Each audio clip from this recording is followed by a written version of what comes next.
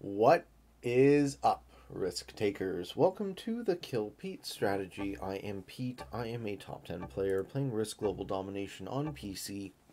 I have a daily release schedule on YouTube. I do a fixed game every Friday, and I do the Waiting on Your Best Behavior podcast on Wednesdays. If you are interested in getting better at the game of Risk, I invite you to subscribe to my channel and come along the ride with me. And today we are playing a six player progressive game with Fog and Blizzards on on World Conquest. I am in the first position. So, I'm first to act. World Conquest pretty much echoes preferred positioning on Classic. So, I'm going to expect that I can move these threes together in an easy take in Africa and sit there with a four stack. Think I consolidated in Japan now, expecting my 3 and 4 in North America to remain unmolested until the next turn. Settings for this game are uh, World Domination on World Conquest map, auto setup 90 second turn, expert AI, uh, ranked game, progressive cards, balanced blitz, dice, novice, grandmaster with alliances off, Fog and Blizzards are on. I'm in the first position. This is the alt Pete account. Anything goes. 88 hours played with 147 wins and 101 losses. In position two, we have Viktor, flying the flag of Belgium with 42 hours played, 15 wins, and 46 losses. In position three is Clumsy, guitarist 69, 563, uh, from the good old US of A with 922 hours played, 647 wins, and 1443 losses. I did not see where they went. In position four, we have General Leather, 1209, from the Netherlands, uh, 124 hours played, 76 wins, and yeah, they attack me, but they only get the single. 76 wins and 306 losses. In position 5, we have Stan Biel from United States of America with 367 hours played, 16, uh, 166 wins and 269 losses. And rounding it out, we have Serge Epsilon, the host of the game, flying the flag of Ireland with 559 hours played, 425 wins and 8 49 losses. Okay, I'm going to be going for the three position, probably the four position play this game as long as this survives. It doesn't look like it's going to. It looks like blue is going to try and take Europe. Okay, three position play it is. And as I said, echoes my style for classic map. So we're going to have the Japan, the Madagascar, and the North American position, ideally central Canada. It's called Ontario know why I call it Central Canada. I call it Central Canada, I guess, because the Risk board I grew up playing called it Central Canada. But Stove is right. He calls it Ontario. So we'll go with Ontario, my home. Um, I'm going to try and migrate the stack to Madagascar, but I don't really have to. I, I'm happy to leave it there. I'm actually doing very well. Let's just keep the home fires alive up in Yakutsk. So we have hope for fourth position. It's 90 second turns. We've got a lot of time to think. Uh, I think I'm going to move into Southern Africa. And I'm going to consolidate my position in NA. Let's see who's in Falklands. Okay, Magenta's in Falklands. I can see almost this entire map, which is really good.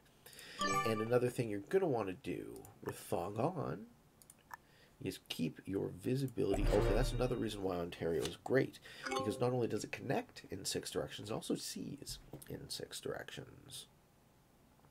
So these Nexus territories are even more important with Fog on. World Conquest adds uh, Svalbard in the north of Europe. It adds Falkland Islands. In uh, South America, it adds Hawaii in North America, and it adds Philippines and uh, New Zealand that is blizzarded. Continent bonuses are slightly different. You have a 5 in NA, 5 in Europe, 7 in Asia, like Classic, 3 in Africa, but Oceania is worth 4. South America is worth 3, and you have all of these extra routes across the Pacific, and an additional uh, route over the North Atlantic and the South Atlantic as well. You might even want to call Greenland to Svalbard the Arctic Ocean, depending on the latitude. Hey, do y'all like talking about maps from a geography nerd? I've been having a hell of a time firing a lobby. Um, I don't know what's going on, if there are not enough players or what. but I can't seem to easily find ranked lobbies on settings I want to play anymore. So I'm happy that I have an Anything Goes account where I can still shoot video and, and hop into someone else's game. Okay, looks like black is spending most of their turn in draft. Are they botting out?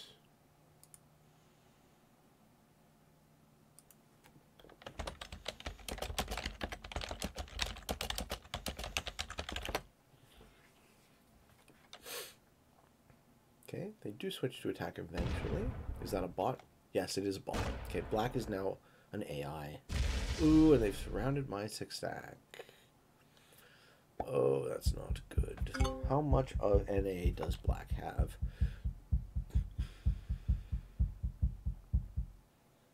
Okay, I don't see where magenta goes, but I do get to see their dice. Looks like they're making multiple attacks.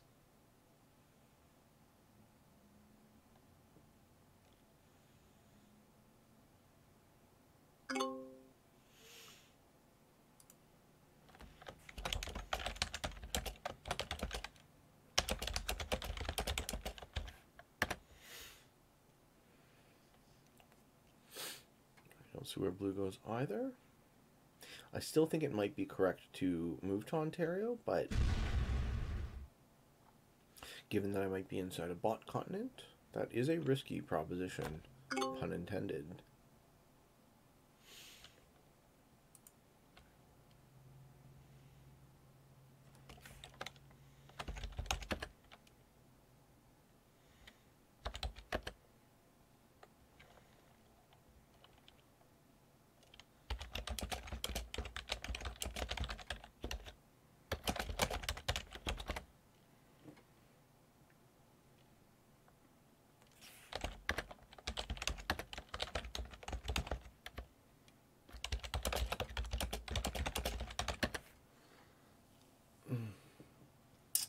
Yeah, whole not not a whole hell of a lot that I can see in the fog. It looks like white might also be botting if they stay in draft. This is why 90 second turns kind of sucks because when people bot out, you have to eat through all this dead air. Um,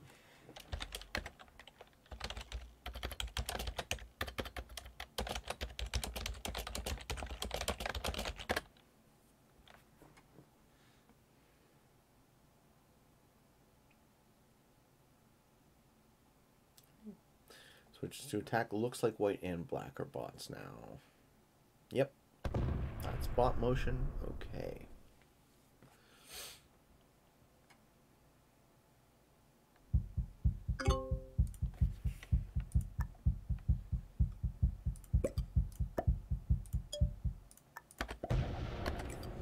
Okay. Now I can sit in the middle of North America with that stack and have it live for a while. With two bots now in the game, I don't have to worry about skipping a card. Being that I'm in the first position, I would have thought about it. Okay, purple getting takes in Asia. Black's a bot, so now we will see action here. Yep, and they take there. They take there. I lose my visibility in the center of the board. Maybe I should have strengthened that position as well. Right, Magenta is holding South America. I figured that's where they might have been. Getting six troops, and they're going to guard in the Falklands so that I can't open that door now. That's fine. I can move out of their way. Which way do you suppose Magenta's attacking? They only have two other directions, so I figure Magenta's probably in Mexico and North Africa. So my next turn, I'm going to attack north into Congo. The other idea may be to take uh, Siberia. Preferred positioning in fog, it occurs to me, is better to stay in these nexi so that you can see. So I'm going to migrate back to more connected positions and hopefully maintain some of the out of the way ones as well.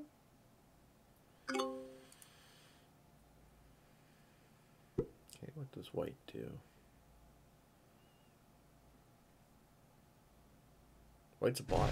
That's right. Okay, I can move through here and hopefully get to the East. Good. Good, I like that plan a lot.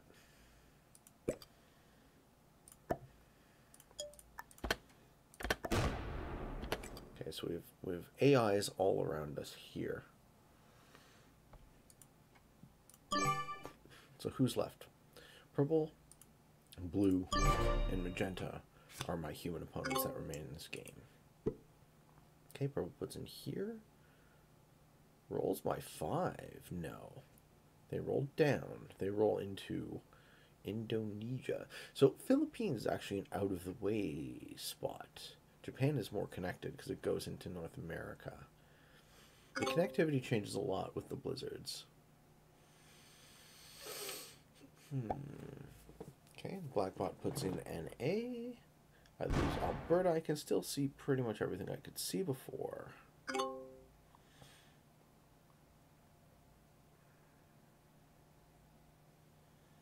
It is going to be tricky to figure out when the right time to make kills is.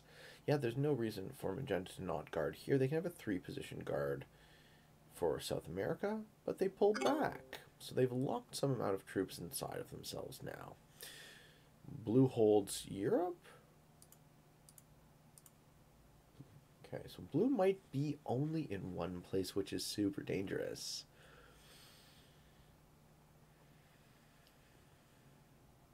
For progressive cards. Yeah, blue's there. Good. So I'm using my deduction now to figure out where people are and to kind of ascertain how large they are figure out when I can make kills. Okay, where's White? White's a bot? Yeah. The host of this game bought it out. That is suboptimal. Okay. They roll in magenta. I am now the last territory in a bot continent. I'm going to need to get the hell out. But they already matched in. Do I roll 10 on 4 or do I roll into the 2? I think I have to roll 10 on 4 in this scenario. Um, because if I hit this 2, magenta will see my stack again. I'd much rather let the bot take Africa. Didn't lose too badly, still sitting at the 7. Let the bot take Africa, and then magenta at least has a bot between me and their continent.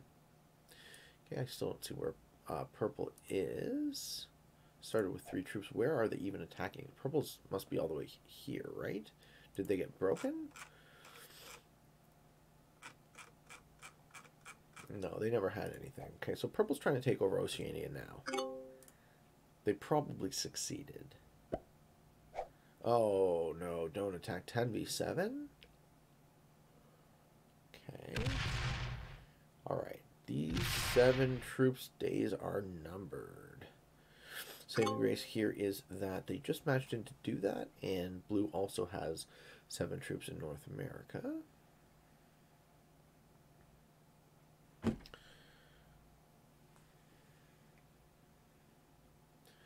Magenta held their bonus? Yes. Okay, Magenta is here. I'm getting take somewhere I can't see. Here. Okay, Magenta is fighting purple. Cool. let's see how much material they have left in Asia. Because if I can lock blue into a single position, I think they already are. If I can lock magenta into a single position, this just makes my opponents easier to kill. Okay, blue helps me in NA. And I will be getting uh, the middling 8 match. Okay, white takes there. No surprise.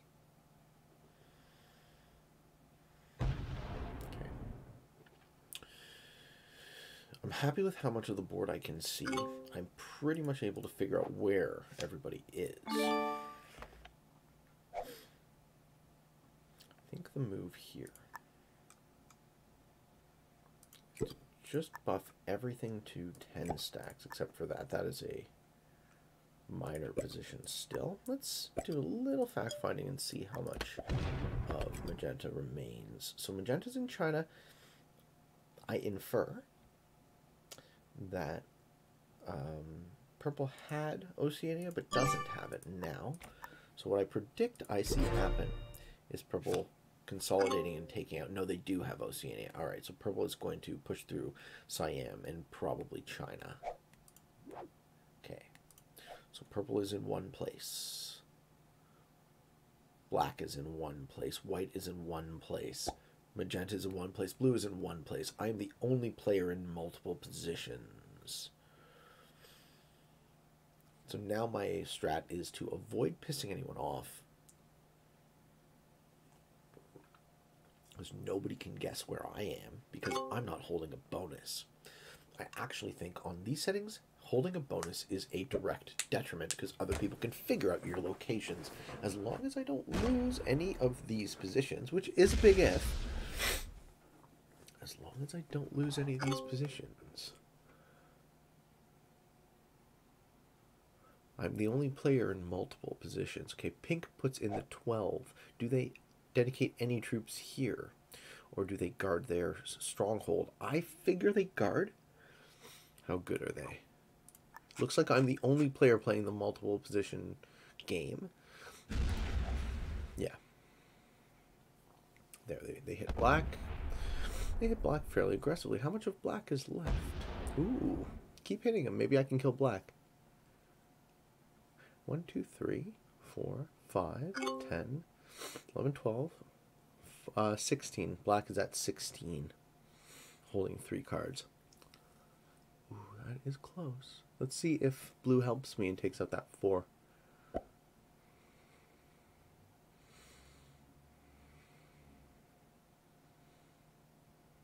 Blue matches and gets the 15.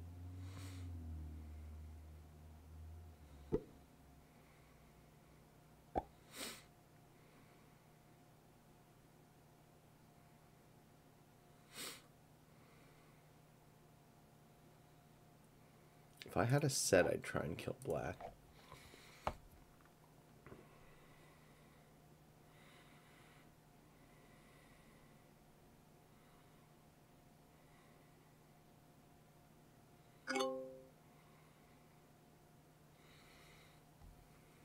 I I line myself up to do it in the hopes that they don't match in on three and try and get them for four cards.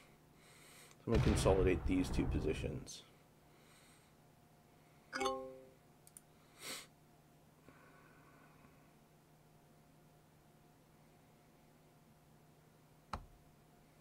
No, don't like that.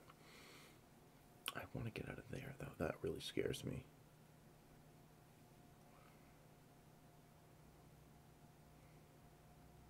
You know what? If they have a set, they have a set. This at least lines me up to kill black on my next turn. I hope they're not there.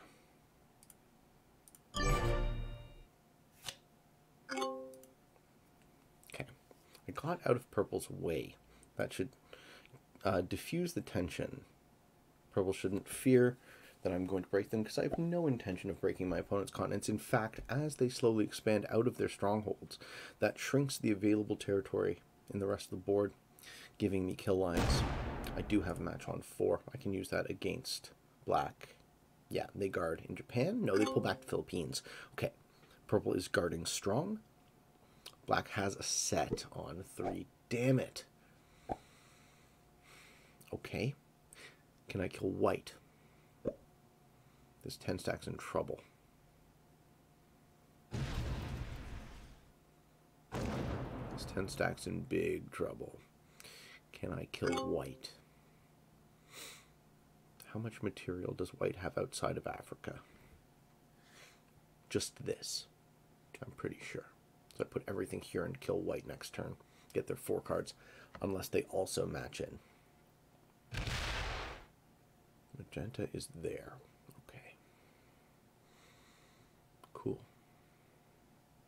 I was wondering who was in Ural.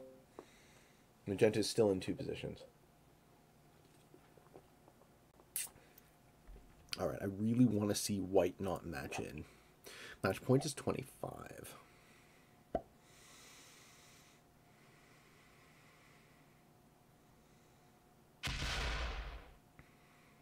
Blue hits a 3 of black.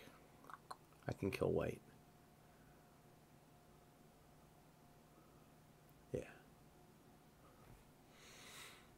High level of confidence. No match, no match, no match. Holds Africa. Match. Damn it. Now I lose my 10 stack. Both bots having matches on 3 have been really bad for me.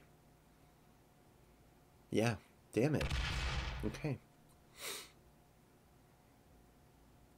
Losing this position is very, very bad for me.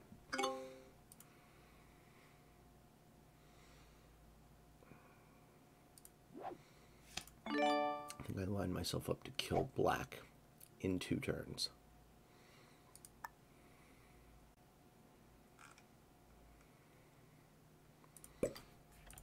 So we go to two strong positions like this.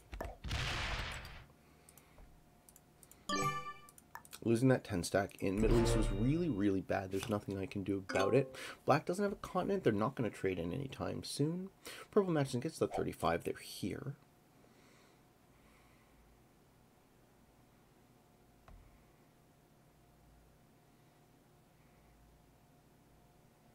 Still have kill lines on black, so I'm going to have to take them when the time is right.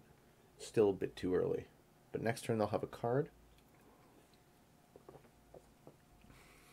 It won't trigger an in-turn match, though. Someone could eat me.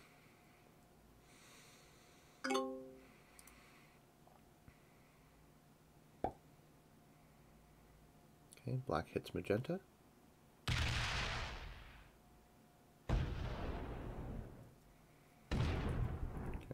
See where black is still. Yep. I see all of you. This is fine. Okay, pink matches in, gets the 40. Is pink going to try and kill black? Pink is here. Moves into Hawaii. They are trying to kill black. Okay. No, they're causing trouble. okay, interesting strat. They're going to kill black, take their two cards. This leaves them very weak. Huh? Pink's holding three cards. At the end of turn, they're going to be holding four cards. Hmm. How weak is the question. Okay, they're going to con consolidate troops in their stronghold. One of these stacks goes down here. Yeah, okay, okay. I think I can kill Magenta. Blue matches against the 45. Maybe blue beats me to the punch if they don't. Magenta is the fish. This is really fun, trying to deduce where everybody is in the fog. I'm sorry if it's not the most exciting television. I'm trying to narrate it so that you guys can sort of see what I see. Blue makes my job slightly easier. Punches into Magenta. Doesn't connect to Japan? Does. Yes, hits Japan. Great. Weaken Magenta for me. Feed me this guy. Yes, hits him from the other side. Yes. They're, I think they're going to get close to the Elim, but not actually take the kill. And I'm going to get the kill. Yes. Yes, pulls back for a guard, or was that a split? Because we're playing 90 seconds, they will have time. Okay, that was Alaska. So I'm going to go one. Split here. Yeah, they have enough time. They're going to get the four cards and match in turn. Damn it. Okay, what do I do about this? One, two, three, four,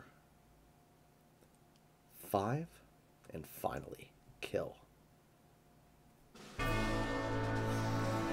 Okay. Blue.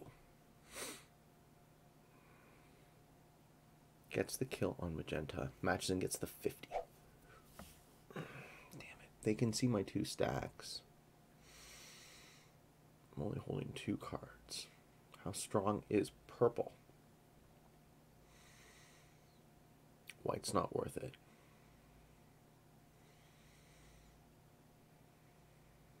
Okay, white gets... I didn't see blue move. Did I miss a fortify? Looks like they fortified within a ter- within their own territory that I can't see. Okay, white is in draft. Did this scumbag bot out and then return?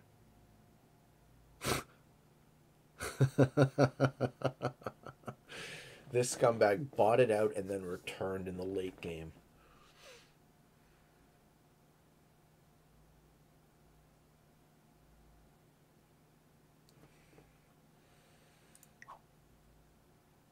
Host of the game, Serge Epsilon 31, is no longer bot.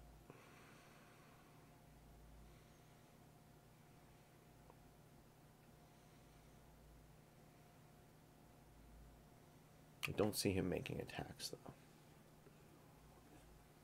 He's botting out again.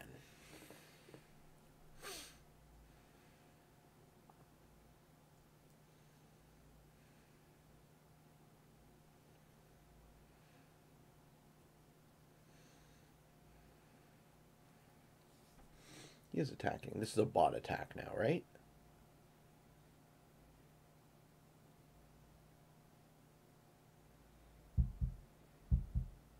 fortify, okay.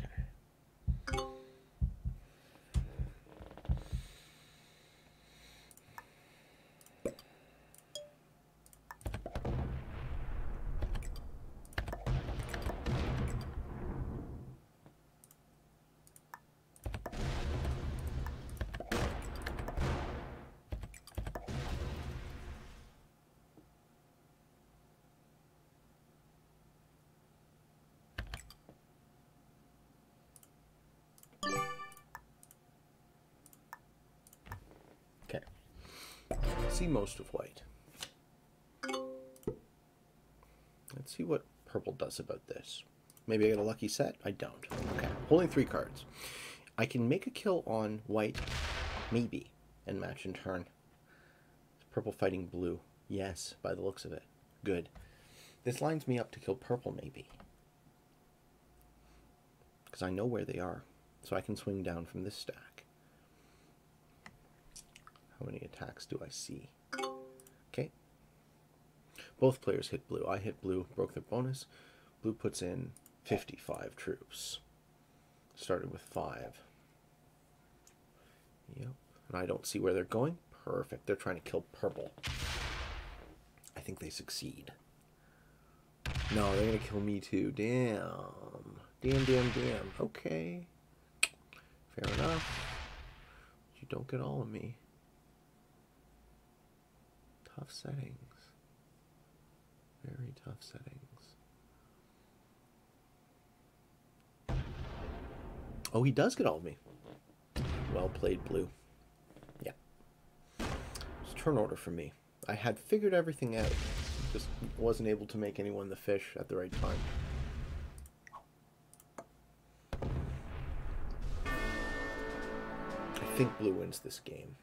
But let's see it through a little bit more. Oh no, I don't get to see through the fog. Hope you guys enjoyed this video. That was fun. High ranked opponents too. Host of the game is a master, and I believe he is a scumbag uh, reconnector. Um, so we placed ahead of uh, an expert, and we placed ahead of two experts, and we lost to an expert, a master, and an intermediate. I hope you guys enjoyed this video. I hope you found some fun and entertaining maybe a little bit informative and educational. If you are interested in getting better at the game of Risk, I invite you to subscribe to my channel and come along the ride with me. I have a daily release schedule on YouTube. I do a fixed game every Friday, and I do the, the Waiting on Your Best Behavior podcast on Wednesdays. Every other day, I do whatever I feel like, and until next time, for all of you on the path to world domination, good games and good luck.